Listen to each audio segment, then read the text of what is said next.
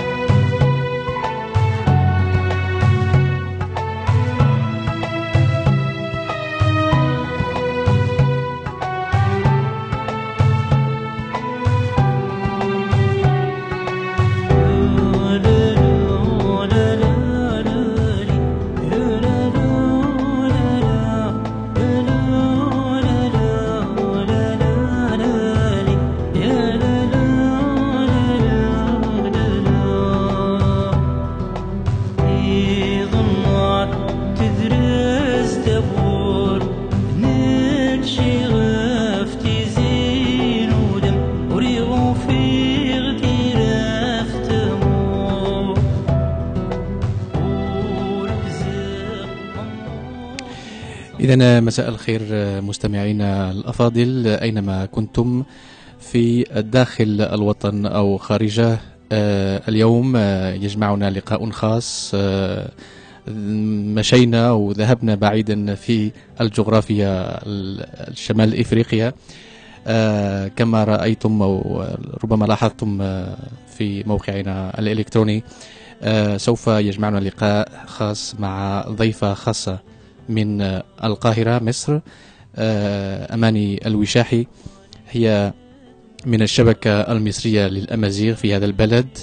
آه، لكن هي كذلك باحثة في الشأن الأمازيغي إلى آخره من جوانب شخصه الكريم أماني الوشاحي معنا مباشرة في الخط.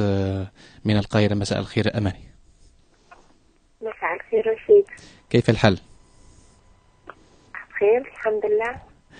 آم، ربما أمازيغيان آه، واحد من المغرب آه، وأخرى من آه، آه، أقصى شرق شمال إفريقيا مصر آه، يلتجئان ويضطران إلى ال- المحادثة باللغة العربية آه، نظرا لأسباب آه، يعرفها الجميع. آه، الأمازيغ مصر آه، لا آه، أو لأسباب تاريخية ربما لم يتشبثوا كثيرا بهذه اللغة الأم.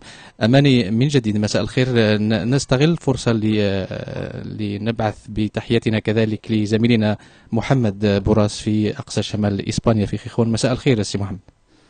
أزول ثومة رشيد جواز قران ثومة الأستاذ المناضلة أماني والشهي أحييك أماني والشهي و... ويوم سعيد و... لنتواصل لنتحدث في القضايا التي تهم الشعب. والإنسان الأمازيغي ابن شمال إفريقيا. وبمناسبة أحيي وأهنئ إخوتنا في أزواج أهنئهم عن انتصارهم العظيم التاريخي. آه، أتمنى أن يسيرون في هذا المسار. وأن ولم لا أن تكون أول دولة أمازيغية في شمال إفريقيا دستورا وانتماء آه، آه، أنا سعيد جدا بهذا الخبر. آه، الخبر الذي وصلني اليوم الأمس 6 أبريل إعلان استقلال أزواج عن المالي ونحن نهنئهم كم نحن سعداء بهذا الخبر. كما نحن نحن سعداء أيضا وكثيرا كثيرا جدا آه، بلقائنا اليوم الخاص مع أماني الوشاحي من أقصى آه، شرق شمال إفريقيا من مصر الحبيبة. أماني بداية دعنا نقدم شخصك الكريم لمستمعينا. كما تعرفين نحن نتوجه بهذه ال- الإذاعة التي تبث فقط عبر الإنترنت. آه، نتوجه إلى جاليتنا المغربية في العالم. دعنا نقدم شخصك الكريم لمستمعينا ومستمعاتنا. أنا اسمي ألاهي المساحي أنا آه، أمازيغية مصرية من دير الريف تعود الأصول إلى قرية فرخانة بإقليم الناظور في الريف تحديدا قبيلة آيس سيكا بني. آم، بس أنا مولودة هنا في مصر و يعني كان عندي نشاط آه، مجال التمييز الديني ومجال آه، كنت عضو في عدة آه، كيانات من أجل مناهضة التمييز الديني ومناهضة الأحادية ومناهضة العنف الطائفي. نعم. آه، ثم آه، أسست الشبكة المصرية من أجل الأمازيغ في 2010 في القاهرة. وهي من أجل جميع الأمازيغ وليس أمازيغ مصر تحديدا. وانخرطت في الحركة الأمازيغية ويعني تصاعدت حتى آه، يعني وصلت أو أشغل الآن الآن منصب مستشار رئيس منظمة الكونغرس العالمي مهم. آه، بس بهذا باختصار يعني. نعم. أه، تفضلت قلت أن أصل أصل العائلة عائل- عائلتك من قبيلة بني شيكر من أقصى شمال نعم. المغرب. كيف عرفتم أماني؟ كيف عرفتم من هذه الحقيقة التاريخية في عائلتكم؟ هذه متداولة في العيلة يعني. أها. يعني في معلومة كيف عرفتها من أبويا وأبويا كيف عرفها من أبوه. نعم. أه، يعني هذا السؤال آه، أنا أستغرب إني يسأله لي أمازيغي لأن هذا السؤال بيسأله لي المصريين. لا لا لأننا لا نعرف مع مستمعينا لا نعرف ب عن بجدية هل الهجرة هجرة عائلتك ترجع إلى قبل قرن أو قرنين أو ربما عشرة قرون. لا نعرف نريد أن نسمع الإجابة من عندك. آه ربما أنتم لم آه لم تس... لم تسمعوا لكن هناك الإعلام الإلكتروني الأمازيغي سألني هذا السؤال كثيرا ويمكن جاوبت كثيرا. لا ال- الهجرة تعود إلى أواخر القرن التاسع عشر يعني مهم. هجرة حديثة يعني وليست بعيدة ولذلك أنا أتذكرها يعني. نعم. أو نتذكرها في ولكن- العائلة يعني. آه، أستاذة أماني ما أريد أن أقول هل سيوا سيوا هي أرض أمازيغية أم أن الأمازيغ الذين يعيشون في سيوا س- فقط مهاجرون أنا لا حينما. يسمع أحد النشطاء. أبرز النشطاء أمازيغيين آه، أماني والشاحي من أصل النظور أنت أي عن نشطاء أمازيغ أنت تسأل عن آه، نشطاء أماني أمازيغ تسمعوني؟ آخرين في مصر نعم أنا أسمع نعم. تسأل عن وجود أمازيغ آخرين في من- مصر من يسمع من يسمع هذا أن أحد أبرز نشطاء أمازيغيين في سيوا يعتقد أن كل أمازيغ في هذه المنطقة الأمازيغية آه، أرض أرض أمازيغية قوحة يعتقد أن هؤلاء الأمازيغ سواء مهاجرون. هاجروا من الريف ومن السوس تفهموني قصدي نو؟ أنا أنا لا يعني لا أسمع الصوت جيدا يعني أنت تسأل نعم. عن أمازيغ سيوا نعم أه. س- سأتفضل بسؤال بعبارة أخرى ربما ستستشفين من لا هو أنا لا أسمعه جيدا يعني نعم. أنا أنا أنا أسمعك أنت جيدا نعم إذا سأضطر لي- لمعاودة السؤال بعبارة أخرى ربما آه، أماني نعم. تواجد آه، الأمازيغ في مصر ككل آه، ما ما هو تاريخه ما إلى. إلى, إلى ماذا آه، إلى إلى ماذا ترجع ال- الأصول؟ أي أصول عند الأمازيغ في مصر؟ هل هي آه، موجات آه، مهاجرين آه، شمال إفريقيين ربما من المغرب الأقصى أو من الجزائر؟ كيف كيف تم آه، تم هذا ال- التواجد آه، الأمازيغي في مصر؟ هو تحديدا هو ال- الأمازيغ جاءوا إلى مصر من حوالي 3000 سنة 3000 سنة من عصر الملك آه، رمسيس الثالث آه، في نهاية الأسرة ال- ال- العشرين. آه، وبعدين استقروا في في مصر يعني دي كانت موجة الهجرة الأولى. هذه كانت موجة الهجرة الأولى، أوكي؟ كان هناك موجة للهجرة الثانية في عصر الدولة الفاطمية يعني مع المعز لدين الله عندما جاء إلى- إلى مصر آه، لكن كان كان قديما عدد كبير جدا. الآن عدد تقلص جدا جدا جدا. في سيوة تحديدا. يعني هناك عشر قبائل آه، أمازيغية في سيوة. آه، الأمازيغ لا يزيد تعدادهم في سيوة عن سبعة ألاف أمازيغي. مهم. ل- لدي معلومات بأن أيضا نعم. قبيلة الهوارة في آه، جنوب مصر. هي الهوارة هذه القبيلة آه، مكونة من ثلاث فروع. فرع منها آه، آه، يعني يأتي آه، أصوله تعود إلى شمال أفريقيا وفرع أولاد يحيى. أها. لدينا معلومات آه، أماني بأن العديد آه، من العائلات في منطقة سيوة هي ترجع آه، أصولها إلى منطقة آه، آه، الشاوية في الجزائر. آه، أليس كذلك؟ هو هناك قبائل آه، أمازيغية في قبيلتين آه، آه، قبيلة يعود أبورمي يعود أصولها إلى المغرب وقبيلة الزناين يعود أصولها إلى الجزائر اللي هي فرع من قبيلة زناتة أما ال- الثماني قبائل الأخرى فهي تعود إلى أمازيغ جبل نفيسة. إلى ليبيا أمازيغ جبل نفيسة نعم. تفضل سي محمد.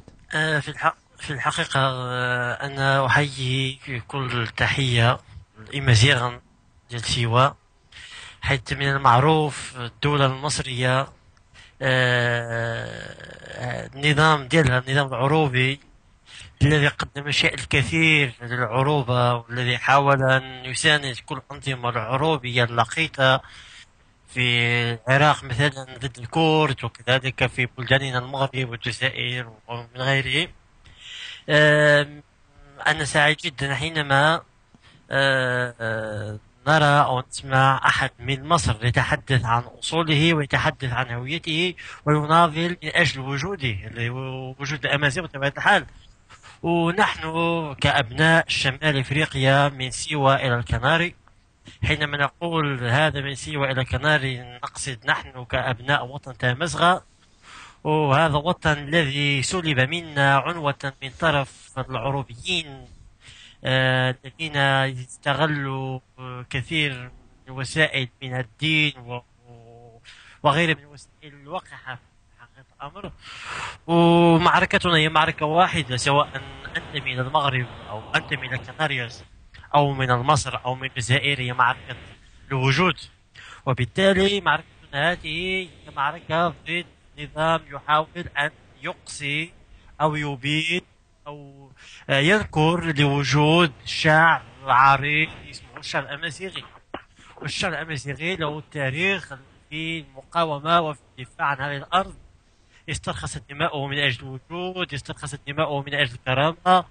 آه، حينما قاوم الرومان قاوم وأخيرا قاوم وإيطاليين وإسبانيين. آه، محمد آه، محمد من آه، خيخون آه، أستسمح هناك صعوبة في مواصلة الحوار معك سأعاود الاتصال بعد لحظات. نواصل معكم مستمعينا الأفاضل الحوار الذي يجمعنا الليلة آه، حول موضوع أمازيغ مصر مع أماني الوشاحي. أماني تفضلي بالبقاء معنا. سنأخذ فاصل قصير بعده سنرجع إليك مباشرة. شكرا.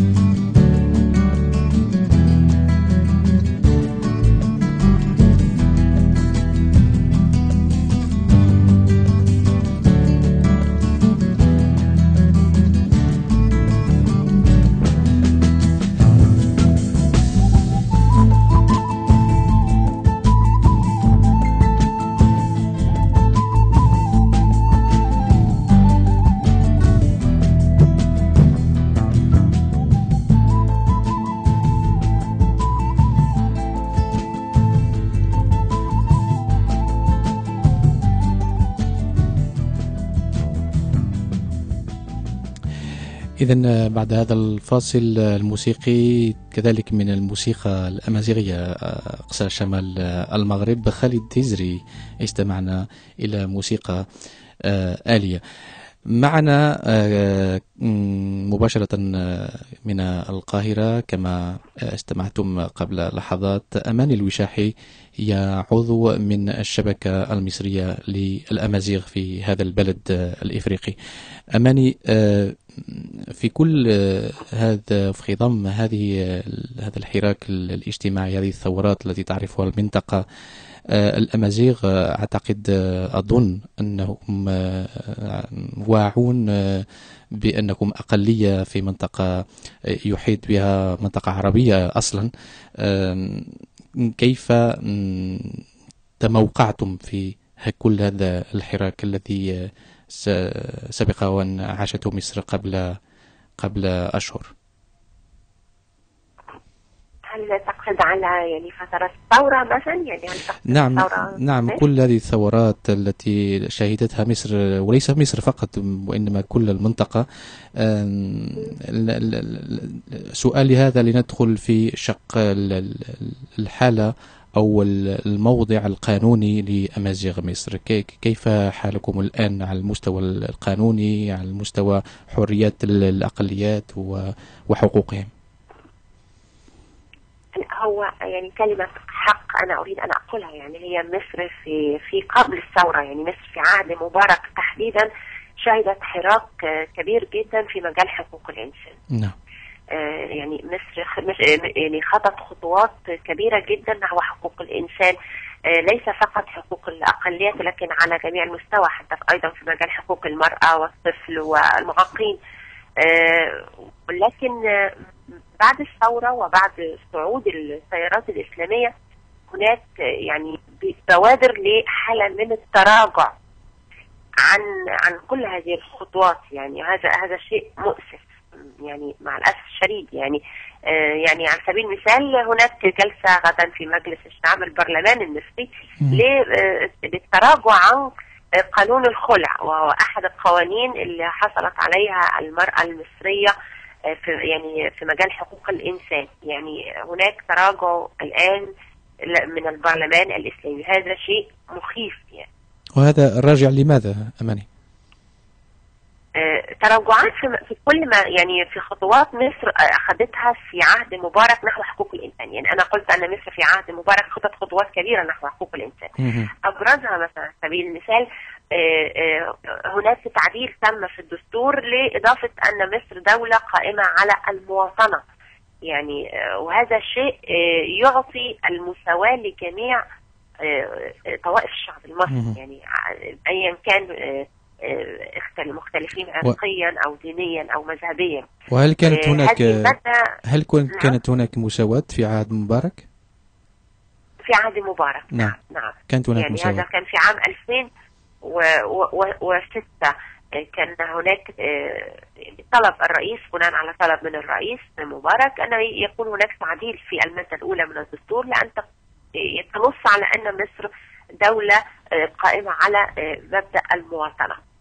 آه، هذا هذا المبدأ يعني هناك الدستور الآن يعني ربما يص- يصبح دستور إسلامي وهناك احتمالية أنهم يريدوا إلغاء هذه الماده هذا شيء خطير مهم. فهناك في يعني في, في يعني فيما قبل الثورة كان هناك حقوق كثيرة جدا لجميع الطوائف من بما فيها الامازيغ لممارسه حقوقهم يعني آه، مارس حقوقك الثقافية واللغوية تريدين آه، ولكن ال- الخوف الآن يعني هناك مهم. انتكاسة في حقوق الإنسان مع الأسف الشديد تم بعد ثورة يناير.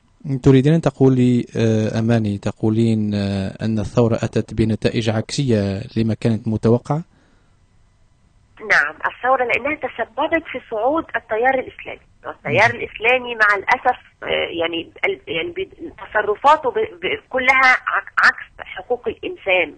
يعني وال- والخوف إن كلما تمكن أكثر كلما جاء يعني نتج هذا سلبا على حقوق الإنسان وعلى ال- الم- المنجزات اللي مصر حققتها قبل الثورة. انت آه، شخصيتك آه، وشخصك الكريم آه، بطبيعة الحال زرتي المغرب شمال شمال إفريقيا. آه، شاركتي في مؤتمر للأمازيغ هناك في مدينة طنجة. ما المطالب الآن للأمازيغ أن يقوموا به؟ حماية لمصالحهم حماية لحقوقهم اللغوية الهواتية ما المطلوب؟ لا الأمر يختلف من دولة لأخرى. لأن وضعية الأمازيغية مستحيل أن تقاس كلها في يعني في سلة واحدة. لا أنا أقصد أمازيغ مصر بطبيعة الحال أقصد الأمازيغية بتختلف في كل دولة عن عن الأخرى. أقصد أمازيغ مصر بالتحديد. آه، أمازيغ مصر يعني ال- الوضع الآن آه، جميع الأقليات الآن آه، الدينية والعرقية والمذهبية في في سلة واحدة. يعني لأن آه، صعود الإسلاميين يمثل خطرا على على على كل هؤلاء. فالجميع هنا في سلة واحدة يعني إحنا أسسنا آه، من أسبوع آه، أسسنا التحالف المصري للأقليات. وذلك ردا على آه، أسلمة الدستور أو محاولة لأسل- من الإسلاميين لأسلمة الدستور. يعني الجمعية التأسيسية من الدستور غالبيتها أو كلها إسلاميين. و- وهذا يشكل خطأ على حقوق الأقليات. فلذلك أسسنا التحالف المصري للأقليات. من- الجميع مع بعض في واحدة نعم. من معكم آه، بالإضافة إلى الأقباط؟ من معكم آه، في في. آه. في هذه المجموعة؟ أقليات أقليات مصر يعني النوبيين وهناك البهائيين نعم. وبدو سيناء مهم. الكل يدافع الكل تم اقصاؤه وتهميشه. نحن نحن ندافع عن المادة الأولى من الدستور ولا تنص على المواطنة. مهم. كارثه لأن هذه الماده لو لو تم حذف هذه الكلمة كارثة. آه، ربما يقول البعض الآخر ليست بكارثة وإنما تطبيقا للشريعة الإسلامية التي يتدين بها أغلب المصريين. ربما أقول آه. ربما هناك من يقولون هذا بالفعل. نعم. مع الأسف. نعم. محمد بوراس آه، ما زلت معنا؟ لا زلت معكم في حقيقة الأمر آه، كذا لكل دولة أمر يختلف عن دولة أخرى. ولكن خلاصة القول في هذا أن الإسلامويين أو المتأسلمين وكذلك المتياسرين المعروفين باليسار في هذه المناطق خصوصا في المغرب يختلفون طولا وعرضا ولكنهم متفقين في العروبة. نعم متفقين في العروبة. متفقين للإبادة ما يسمى بالأمازيغيين أو بالأقليات في حسب أدبيتهم. إلى يومنا هذا آه، شعبنا آه، يقمع ويضطهد. للأسف الشديد نرى سيرات مليونية أو مئات آلاف نصرة لقضايا العروبية لا ناقة لنا فيها ولا جمال. نعم. اليساريون أو المتياسرين في المغرب وكذلك المتأسلمين ينظمون مسيرات مظاهرات نصرة للقضايا العربية. ما موقع قضية أزواج ما موقع قضية أزواج ما موقع قضية إخوتنا أو آه مناضلين أو الشعب الذي ينضف في وجه الأنظمة الشمولية في مالي وكذلك في آه في السنغال وفي نيجر وفي ما موقع هذه القضية؟ ما موقع قضية الشعب الذي يعاني من علاج ويلات هذه الأنظمة العروبية المقيتة بطبيعة الحال ما موقع قضيتنا نحن كأمازيغ الذين نطالب الوجود؟ للأسف الشديد أحد يستمع لا أحد يستمع. رأينا رأينا المغرب مثلا كنموذج حزب الحاكم اليوم في المغرب الحزب العدل والتنمية الحزب الإسلاموي الذي يقوده بالكيران. الذي استهزأ بحرف في حرف أمازيغ أما الحرف الذي نع- لتعلم في مدرسة. حرف عربي وحرف أرامي. للأسف الشديد الكل يعادي قضايا وطنية الحقيقية. الكل يعادي هذا الشعب المظلوم الشعب الذي استفسد دماءه من أجل الوطن. الوطنيين الحقيقيين الذين فضلوا الموت بدل الذلة.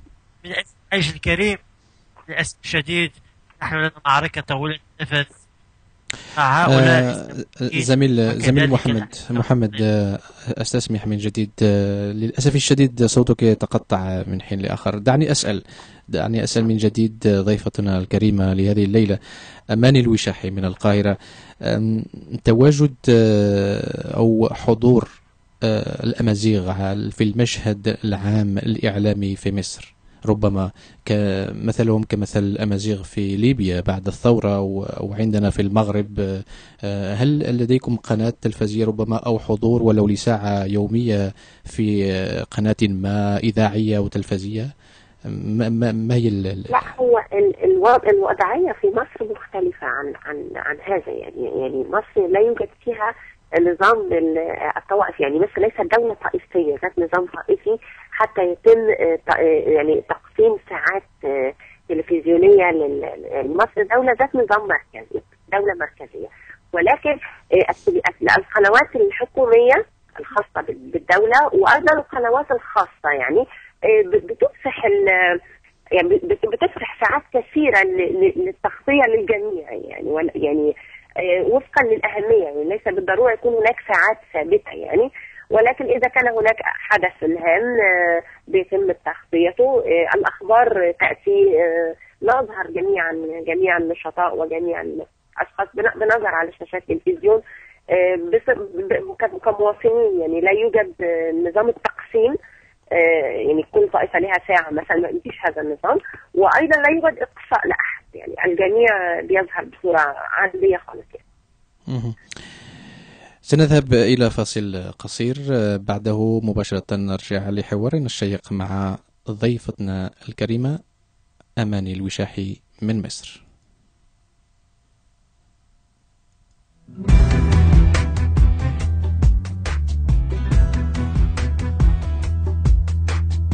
Viajes Giromar. Te ofrece una amplia gama de servicios para que organices tu viaje a Marruecos desde muchos puntos de España, en avión, ferry o en autocar. También encontrarás grandes precios en alquiler de vehículos y hoteles. Visita nuestra página web viajesgiromar.es. Grandes ofertas, precios irresistibles y todo lo necesario para programar tu viaje a Marruecos. Visita la web viajesgiromar.es. Haz tu compra y reserva online.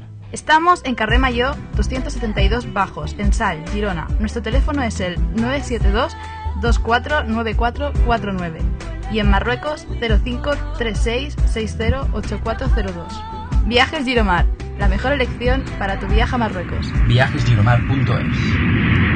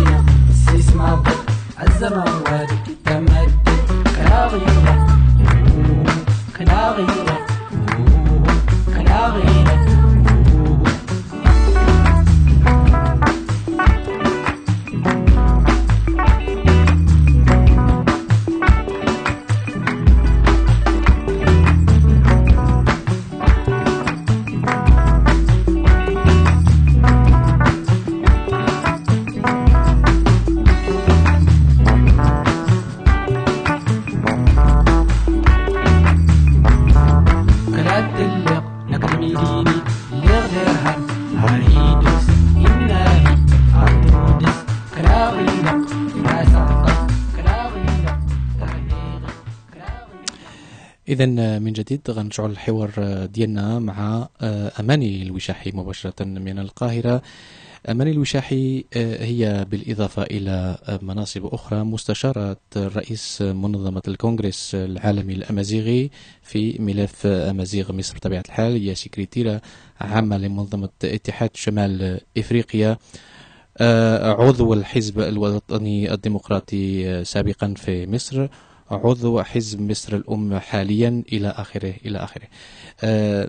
أماني بكل هذه المناصب بكل هذه آه، النشاطات آه، لشخصك آه، كيف ترين من هذا التموقع النشاطي بطبيعة الحال؟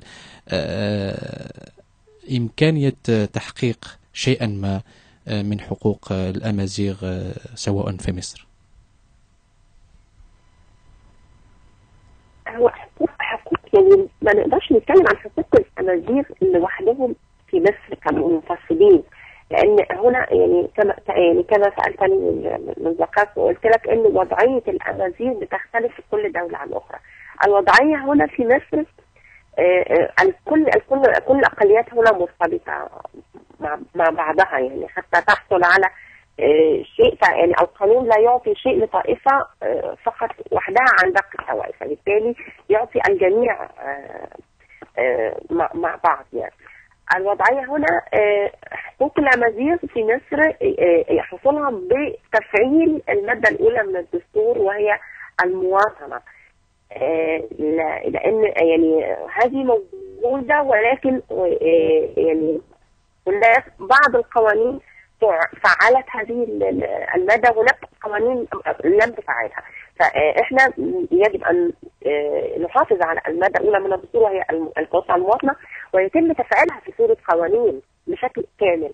يعني المواطنة عندما ينخرط الأمازيغ في آه، ال- المواطنة الكاملة مع جميع الشعب المصري هنا سيحصلون على حقوقهم. يعني أنت الأمر هنا مختلف. أنت بتتكلم في 7000 واحد مثلا من 90 مليون. نعم. يعني عدد عدد ضئيل جدا. مواطنة. نعم. فقط ما يعني أن يكون هناك مساواة ما بين الجميع. وهذا ما نخشى أن, أن يتم التراجع فيه مع الأسف الشديد الآن. م- ما نشاطك في الكونغرس الأمازيغي العالمي أماني؟ أنا مستشارة الرئيس لملف أمازيغ مصر. نعم لكن. هذا هو المنصب. نعم. نعم بالتحديد أنتم ب... أنتم تقومون بنشاط ما معين بتحركات معينة على أرض الواقع أم الملف ما زال ما زال معلقا لنقول مثلا؟ الملف الملف لا زال معلق بالتأكيد لأن لسه الأوضاع في مصر يعني ما زال هناك إجراء يعني الأوضاع لم تستقر بشكل بشكل كامل. أيضا هناك ملفات أهم على الساحة الأمازيغية تشغل الكونغرس الآن مثل ملف ليبيا امازيغ ليبيا وملف ازواج يعني هذه يعني الملفين دول تحديدا يشغلوا الآن الكونغرس أكثر من أي ملفات أخرى يعني. أماني قلتي تحدثتي خارج البث معي عبر الهاتف إن الحالة الآنية الآن في مصر للغة الأمازيغية حالية حالة مثرية أو, أو لا يحسد عليها. ما السبب في هذه الوضعية الحالية؟ هو اللي حصل من حوالي أكثر من 150 سنة كان تقلص عدد الأمازيغ في سيوة بشكل كبير جدا جدا فارتكبوا يعني خطأ قاتل أنهم أخذوا من القبائل العربية ومزغوهم. يعني حتى يزيد العدد. فأولا أصبح الآن عدد العرب المتمزغين أكثر من عدد الأمازيغ أوكي؟ نعم آه وعندما دخلوا دخلوا هؤلاء العرب يعني الأمازيغ كانوا يعتقدون أنهم سيمزغونهم ويصبحوا أمازيغ فالكارثة أنهم دخلوا بثقافتهم دخلوا بلغتهم فهذا أثر على الأمازيغية يعني الثقافة الأمازيغية على اللغة الأمازيغية. مع مع مرور السنين تحولت يعني مع يعني ال ال الثقافة العربية أصبحت تطغى الآن على الثقافة الأمازيغية. يعني لديك بعضا من الثقافة الأمازيغية. أيضا اللغة بقى ده أثر على اللغة العربية يعني من قوة الإسلام آه، أثرت على اللغة الأمازيغية. يعني يتحدثون الآن الأمازيغية خليط من الأمازيغية والعربية. مهم. آه، هم ال- مع الأسف الشديد ولا يقرؤون ولا يكتبون. أها. آه، هم مت... مت... المتمزغين نعم. متدينين هم متدينين نعم. آه، أمازيغ مصر أماني؟ نعم بالسمع هل لديهم ديانة؟ هل لديهم الديانة هل يعتنقون دينا ما؟ نعم مسلمين هم- سنة. هم مسلمين. نعم يعتنقون الإسلام السني على مذهب الإمام مالك. لابد من من سؤالك آه، هل تتقنين آه، حرفا آه، كلمة أو جملة بالأمازيغية؟ هل بالإمكان اسمعنا شيئا بالأمازيغية؟ يعني أتقن يعني بعض كلمات بسيطة أنا لا يعني لا لا أستطيع أن أتحدثها يعني ولكن أعرف بعض كلمات آه، بسيطة يعني في في اللغة الأمازيغية ربما قد تفهمين أكثر مما تتكلمين أعتقد. يعني إلى حد ما إلى حد ما. بس أنا أتمنى يعني أن أن أن أجيدها أن أتعلمها يعني. بس وأتمنى أن أنا أكتبها وأقرأها يعني. هذا هذا هذا أقصى ما أتمناه حقيقة يعني. محمد يعني آه، لا أحد هنا يقرأها ولا نعم. يكتبها يعني. محمد بوراس في خيخون ربما لديه تساؤل. تفضل محمد. آه، ليس هو تساؤل وإنما كملاحظة أو آه، إضافة. آه، نحن أمازيغ انتماء إلى الأرض واللغة ليس دائما جد الانتماء أي شيء معين مثلا في مكسيك المكسيك يتحدثون إسبانية. هل هم إسبانيين؟ أمريكا اللاتينية تقريبا يتحدثون إسبانية ليس بإسبانيين. برازيل يتحدثون برتغالية هل هم برتغاليين؟ إنما هم برازيليين لاتينيين هوية ليسوا هم بإسبانيين أو برازيليين. إذا اللغة ليس دائما محدد لهوية معينة للشعب. آه، في شمال إفريقيا آه، الأنظمة العروبية أو آه، كافة العروبيين الذين عاشوا في هذه المنطقة حاولوا أن يعربون ما يمكن تعريبه في, في هذه المنطقة. يعربون الحيوان. تصور معي الحيوان يتعرض للتعريب. دائما نسمع الجواد عربي أصيل. ماذا تعرف الحيوان يا أخي؟ إنهم دائما يحاولون إقصاء آه، واستئصال كل آه، الشعوب الأخرى. يعربون الحيوان الطعام دائما نسمع الطبخ العربي دائما نسمع الكسك الكسكس ليس ليس هو بالعرب رغم ذلك يحاولون تعريبه و- ويقولون بأنه طبخ عربي. إنه أمر مشين في حقيقة الأمر دائما ي- يسرقون كل شيء يحاولون سرق الهوية والتاريخ وقتل اللغة الأصلية آه، للأسف هذه الأمور ولكن هيهات وهيهات آه، إنهم منهزمون في هذه المعركة رغم أنها معركة أكثر من 12 قرن الأمازيغ رغم ذلك لا زلنا نتحدث بالأمازيغية لا زلنا نعي بوجود بحقنا في وجود بهويتنا بتاريخنا بحضارتنا إذ نحن أقوياء إذ نحن منتصرون آه، لا زلنا موجودون ما لا زلنا نعم. آه، آه، نحب هذه اللغة وهذا الانتماء لا زلنا نفتخر بأمجادنا السابقون.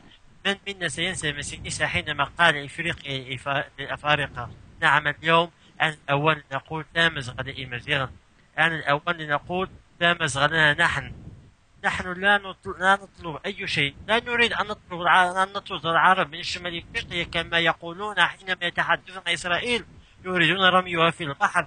ولكن نحن لا لا نريد أن نطرد هذا الشعب نحن نحب الآخرين نتعايش مع الآخرين ولكن عليهم أن يحترمون وجودنا نعم. وأن نعم شكرا للزميل. محمد. بورس شكرا آه، دعنا نعطي كلمة أخيرة لضيفتنا العزيزة في القاهرة قبل أن نودعها آه، متمنيين معها ومع آه، باقي الأمازيغ في مصر وباقي المواطنين المواطنين كل المواطنين في مصر بالحرية والانعتاق والمواطنة الحقة. آه، أماني الوشاحي شكرا لك. الشكر الجزيل للإطلالة على برشلونة الراديو وعلى مستمعينا في الشتات المغربي أينما كانوا.